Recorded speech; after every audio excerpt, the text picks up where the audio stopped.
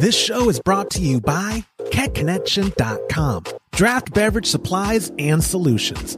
Connection has the experience and the expertise to get you set up. Tap your favorite craft beer, homebrew, wine, cold brew, kombucha, sparkling water, and more at home with ease using a KegConnection.com dispensing kit. Go to KegConnection.com, use our promo code BNW, that's for Booze News Weekly, and save 10% off your first order. Some restrictions may apply. Visit KegConnection.com for more details. Coming up on this episode of Booze News Weekly, Dogfish Head and Patagonia collaborate, U.S. liquor laws are evolving, and women are leading Barcelona's craft beer revolution.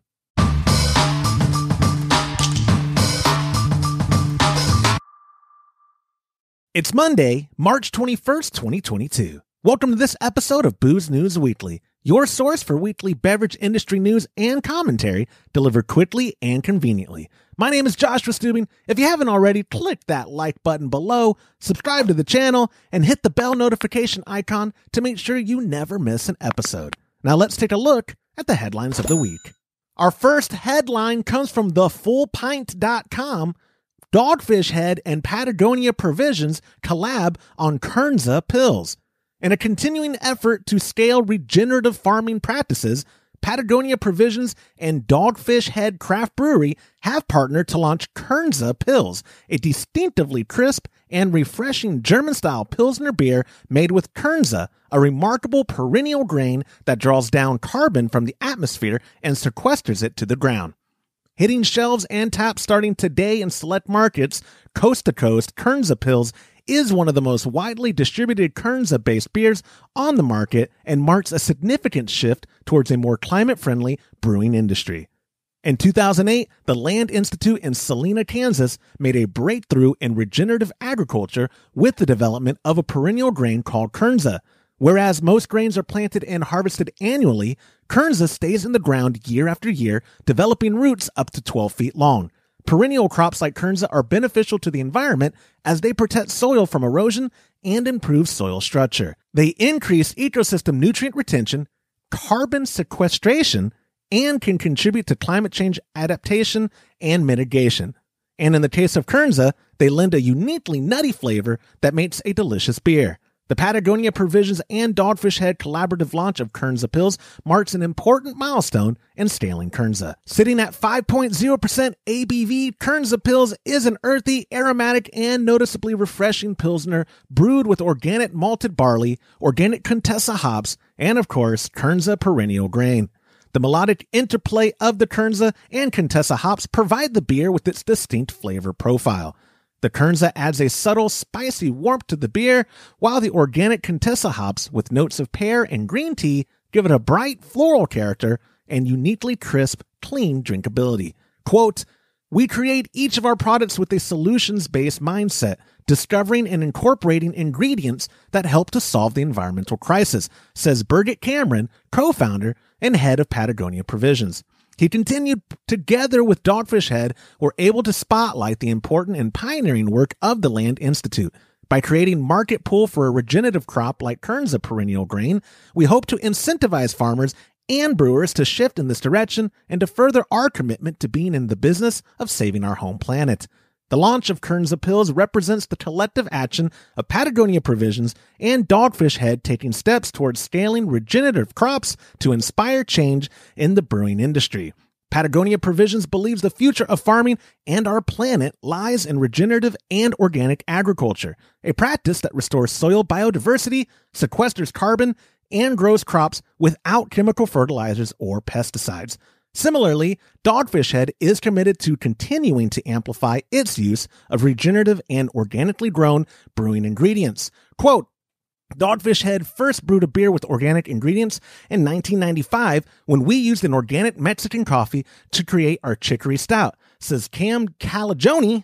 Calagione, I always forget how to pronounce his name. Calagione, Dogfish Head brewer, founder and brewer. He continues, since then, we have brewed countless beers with organic and regenerative ingredients and have partnered with numerous organizations committed committed to addressing climate change and other environmental issues, like the Nature Conservancy, Conservancy, I said that right, to whom we have donated more than $1 million collectively since 2007. While Dogfish Head has always been focused on introducing high quality culinary ingredients into the brewing process in creative ways, this partnership with Patagonia Provisions allows them to shine a spotlight on Kernza, a hardworking grain that not only tastes good, but does good.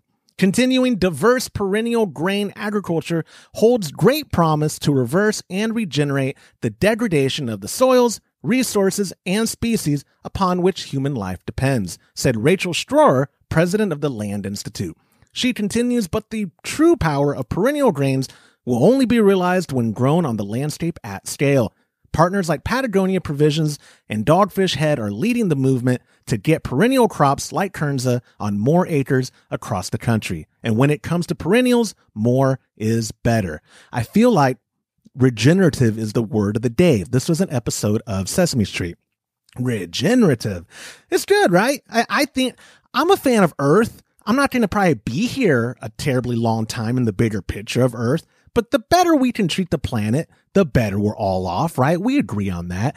I am interested in trying this because for me, ultimately, and this is my selfishness talking, if it doesn't taste good, I don't care.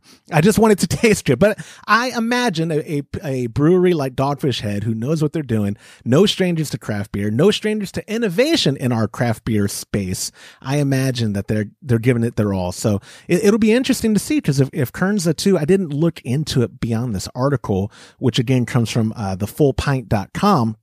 I wonder if it's easily growable too. Like if, if it's something, I know they want to make it larger at scale, but is this something that, uh, because it's been, you know, it's lab made, is, is it make it better for different types of environments to grow in or uh, you know for for certain types of soils because you know i i don't know my whole knowledge base on agriculture is from that ride at disney world living with the land i think it's at epcot that's all I really know about the earth and, and agriculture. So um, maybe that's right now when I'll cue up the music for that ride. No, I won't because we don't have licensing agreements with Disney. But my point being, stories like this make me feel good because it's nice to know that people and even even in our space in our realm the craft beer industry that they're doing what they can for sustainability on the planet. And you know maybe it, it seems kind of kitschy or markety gimmicky whatever but I, I give them the benefit of the doubt that they're trying to do good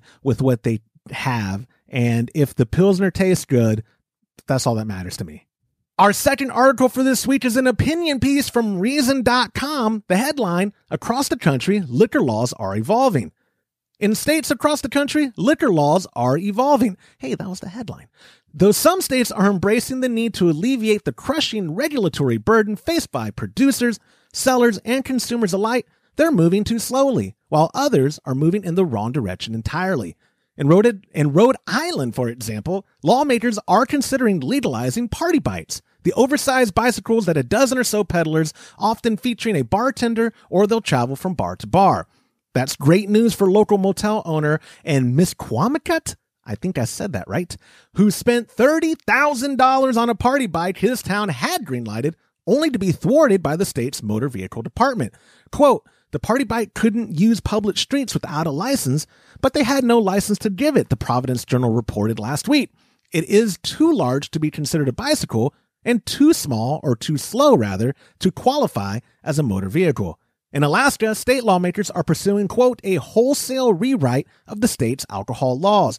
Local station KTUU reported last month that one key element of the proposed overhaul results from so called bar wars that have pitted bar owners in that state against brewers and distillers that operate tasting rooms. The bar owners want the state government to protect them from competition from those tasting rooms. That's clearly in the wrong. The government shouldn't protect any business from competition, this article says, but wrong as the bar and restaurant lobby is in this case, it's also powerful. Hence the proposed quote wholesale rewrite as it applies to tasting rooms, which includes underwhelming improvements such as allowing them to stay open until 10 p.m. instead of 8 p.m. and allowing no more than one new tasting room in communities with at least 12,000 residents would likely come closer to maintaining the status quo than it would to improving the regulatory climate for producers and consumers in the state. That's one reason, no doubt, the supporters of the bill refer to it as a grand or delicate compromise. And some other changes to state booze laws are also pedestrian at best. In New York, for example, state liquor regulators are regulators regulators are now allowing movie theater patrons to drink beer, wine, and cider in theaters. This week, a pair of upstate theaters became the first in New York to allow the practice. Quote, Previously, theaters were restricted to consumption inside a cafe area adjoining the lobby. The Serotogen reported. Serotogen? Serotodian. I am terrible at pronunciating things, pronunciating, pronouncing things today. Noting that it took a decade of lobbying for the simple change to take effect. Continuing, quote, or if the theater had a full restaurant kitchen, theater staff were only permitted to bring beverages to a patron at their seat with a fixed table. To New York's credit, the state is also streamlining some other alcohol rules. For example, recently installed Governor Kathy Hochul announced this week that bar and restaurant owners will now be able to buy liquor licenses online, which she noted was a long overdue modernization. Though slight progress appears to have been made in New York, Rhode Island, and Alaska, these states' modest deregulatory moves seem downright radical when compared to what's happening in other states. In Utah, for example, a bill that's expected to become law will mean the end of many hard seltzer sales in all but liquor stores. The ban targets seltzers that contain ethyl alcohol, a common stabilizer that's used to help flavor many seltzers, and also soda, mustard, and teriyaki sauce which amounts to about half the hard seltzers currently sold in Utah, including ones marketed by Budweiser, Coors, Truly, and Vizzy. Those seltzers will now be sold only at state liquor stores. If the Utah story seems ridiculous to you, news out of, out of Alabama may take the cake. That state's private liquor stores are gearing up to sue the state's liquor regulatory agency, which wants to allow state run liquor stores to deliver alcohol. As AL.com explains, the Alabama legislator last year moved to allow private liquor stores to deliver some alcohol. And that's good news. But the delivery law covers licensees, and the private liquor stores note that state run stores, unlike them, don't require licenses to operate. The state run stores are also not required to pay local sales or liquor taxes, AL.com noted. In other words, the state of Alabama is senselessly in the business of competing with private sellers of the same products, already has an unfair competitive advantage when it comes to such sales, and seems unwilling, pardon me, and seems willing to ignore a state law in order to obtain still more of a competitive advantage. So why do states such as Utah and Alabama continue to sell liquor? ABC's more than eight decades of selling liquor has been brought to you in large part by an unholy alliance of lobbyists, government bureaucrats, and religious groups. Not to mention the landlords and special interests who collect millions from leasing land and providing other services to support the state's alcohol operation, an op ed critical of the state's needless involvement in alcohol noted last year. Indeed, the less government involvement in the alcohol market, from production, sales to sales and consumption, the better off consumers and producers are. When it comes to regulating alcohol, kowtowing to special interests, especially the state itself, is like putting a kryptonite lock on a party bike. No fun. I included this op. I, I like hearing other people's opinions, and and I'm sorry for reading the whole thing. Um, I will say this and it may be an unpopular opinion, but I don't like asking permission. I don't like it, especially in one of these kinds of like I don't need the state to to tell me what time my liquor store can sell me beer or or whiskey or gin or booze. I don't I, I don't need that protection. And I I don't think that it should be a controversial opinion that adults should make decisions for themselves and private business should operate how private business wants to operate. I like the concept of state get out of the way, you know, uh, you're gonna you're gonna tax me anyway on the sales of the stuff. Just make sure the road doesn't have potholes. Which uh, San Marcos, where I'm at now, is not bad with roads. Where I came from, which is uh, closer to Austin, I, I was extremely annoyed because it's like, man, my taxes are going up every year and every road has all these potholes on it. What's going on? But uh, story, you know, op-ed pieces like this, opinion pieces like from Reason, which I, you know, for transparency's sake, I don't read Reason a bunch, but it is a very um, anti-government type of site. So, spoiler if you didn't get that from that article, but I was looking in the news section of Google and this popped up, and it's so interesting to me how different state by state alcohol laws are. I thought Texas had some archaic alcohol laws in regards to how we can share or brew or sell craft beer specifically in the state of Texas. I always felt that it's archaic. But then you look at uh, Alabama, you're like, oh my gosh, I guess we're not that bad. But both are bad, right? both are uh, subjectively, uh, debatably, they're bad. But anyways, I, I, what do you think? Let me know in the comments below. Do you like having the government making sure everything goes through them first and then, you know, with permission, you're able to purchase or resell or brew? Or do you think the less regulation over alcohol consumption, sales, marketing, all the above is a better way of allowing the market to operate? So let me know again what you think in the comments below. And our last article for the week. If you thought I was butchering pronunciations, I haven't even proofread this one yet. So it, but, but the headline, women leading Barcelona's craft beer revolution. From TheGuardian.com, it was Steve Huxley, a Liverpudlian and long term Barcelona resident who introduced the city to craft beer when he opened the Barcelona Brewing Company in 1993. But it was a woman, Judith Cartets, who helped establish Barcelona as Spain's craft beer capital. Quote, Beer has always been a part of my life, she says. We were poor, and all we had to drink was tap water, not even Coca Cola. Except on Sundays, my mother and my grandmother would open a liter bottle of beer to watch football on TV. Very English, no? Continuing, it was Steve who opened our eyes to the possibilities of craft beer, not just in Barcelona, but in the rest of Spain. Cartets, who learned her trade from Huxley and ran her own brewery, Cerveza Bara, until the floor collapsed and the building was condemned. Eek.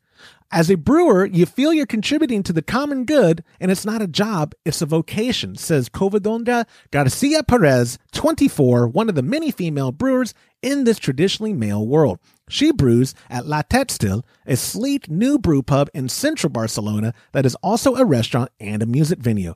Garcia Perez is collaborating with another young woman, Cristina Fernandez Romero, 27, who usually works at Espira, a brewery just outside the city, but has joined her at La Textil on a brewing project. They have named their new beer Punto Violeta after the campaign to provide safe public places for women who are being harassed. Quote, We want to reflect that women are welcome with open arms in the world of craft brewing, they said. Respectively, from Asturias and Madrid, the two ended up in Barcelona because, quote, this is where it all began and was where, pardon me, and where there are more craft beer bars and breweries. Fernandez Romero says she became interested in brewing during her Erasmus year in the Czech Republic, where she was astonished at the range of different beers. Quote, I was amazed at using the same products you could make so many different kinds of beer, she says. A hundred miles from Barcelona, Quinonia Pujo, I know I butchered that, has taken things a step further, brewing beer from barley and hops she grows on her own farm in the village of Almacelles. I don't drink commercial beer, and when we started this in 2013, it was in order to make beer that I want to drink, says Pujo. We grow everything we need to make ecological craft beer. A beer farm like this is unique in Spain and possibly in Europe. Pujo sells about half the, pardon me, Pujo sells about half the cerveza Lovio she produces to bars in Barcelona. She dismisses the concept of a distinctively female brew, a view shared by Cartets, now director of the Brewers Convention in Brew, who says, quote, I don't think women make different or better beer. The difference is men don't like to admit they don't know something, but women aren't afraid to ask, so we learn more. Okay, yeah, she's right. Uh, Cartets is typically forthright when asked about misogyny in the hitherto male milieu of craft beer. Quote, I worked in construction. I played football. I ride a motorbike. I was a drummer in a rock band. All very male worlds. As a woman in the craft beer scene, I've never had a problem. I'm 53 and I'm a big woman with a lot of attitude, and I don't take shit from anyone. It might not be the same for younger women.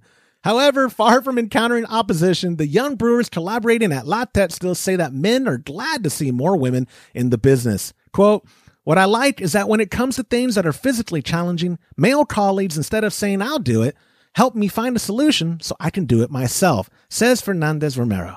It's a dream doing this job, she adds. I feel like I found my place in the world. We're making something that makes people happy and something they can share. I love stories like this. I agree. When we went uh, as Homebrew Happy Hour to HomebrewCon 2015, 2016, we interviewed Annie Johnson, who was Homebrewer of the Year uh, for the American Homebrewers Association and some year around then, like 2013, 2014. And she made it a point in our interview for that podcast episode, just talking about how brewing was traditionally actually a, a woman's job, ancient brewing, right? Because it was cooking it's cooking. For me, brewing feels a lot more like janitorial, but at the end of the day, it's cooking. And um, seeing more women as, you know, I'm a father, I've got three daughters. My wife has no interest in brewing or, or, or consuming at least. She'll humor me at brew days when we, we do them, but uh, hardly ever involved. But I like the idea of getting, of the craft being carried by whomever. And if women are leading the revolution in this place, great. Maybe that'll get more people of all backgrounds to want to be more interested in good craft beer. Not dogging macro breweries and big the beer the big beer lobby necessarily because I'd love for them to sponsor the show. I'm kidding, sort of. Uh, no, I am kidding. But I, I, I think craft beer, local artisan type stuff is my favorite. You know, I like supporting local when I can. And the fact that it happens to be women here in Spain, I think that's fantastic. I think that's good exposure for craft beer overall. I think it's good exposure for getting other young women or women of any age into brewing and, and seeing how rewarding of a craft it is, even if it's at the home brewing level. It's nice seeing representation in a one of my favorite things to do in the world, which is brew beer. But uh, this also gives me an excuse to want to go to Barcelona because maybe I can write it off on a work trip and say like, oh yeah, we're doing it. We're, we're following up on this story from Guardian. But I also want to add, this is kind of digressing. All the stories today had these big words that I should have proofread the articles. But if you're still with me on this video, I appreciate y'all sticking with me because editing on these shows is such a minimal. And I don't think if I went back and did like two or three takes of a word that I was going to get it anyway. And I did on one of them do a Google search, how to pronounce this. And I got like eight different answers. So if you ever know how to correct me on pronunciation of something I say on the show, leave it in the comments below. You can't hurt my feelings. Correcting me is the right thing to do, and uh, it'll make for better content in the future. But, anyways, that's it for this week. If you have any tips or industry news, email them to me, Joshua, at homebrewhappyhour.com or use the hashtag BNW on social media. You can find this episode and so much more content available at homebrewhappyhour.com. Make sure you visit our sponsor, KegConnection.com. Use our promo code BNW for 10% off your first order. Have a great week and we'll see you soon.